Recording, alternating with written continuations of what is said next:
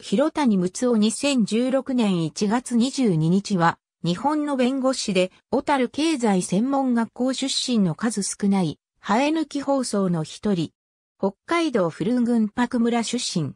父便蔵は、小樽市議で、衆議院議員を務めた山本厚蔵はおじ。実家は、倉庫業で、十人兄弟の睦夫だった。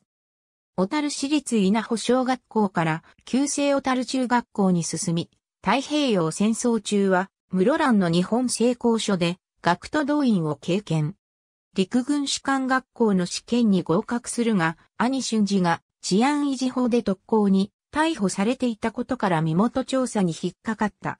1949年小樽経済専門学校卒業。日光証券に入社するが、外国で武力衝突が起きるたびに株価が上がる世界に疑問を感じて退社し、1960年司法試験に合格。1963年弁護士登録。原爆裁判で知られる松井康弘弁護士の事務所に勤めた後、北海道合同法律事務所に所属。1976年、札幌弁護士会副会長に就任。1982年北海道弁護士会連合会人権擁護委員会委員長に就任。日本弁護士連合会人権擁護委員会副委員長、自由放送団北海道支部長にも就任。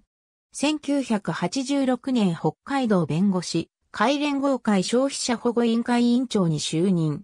人権派弁護士としても知られ、恵庭事件、猿仏事件、長沼事件、薬害質問訴訟、北端夕張振興事故訴訟などに関わった。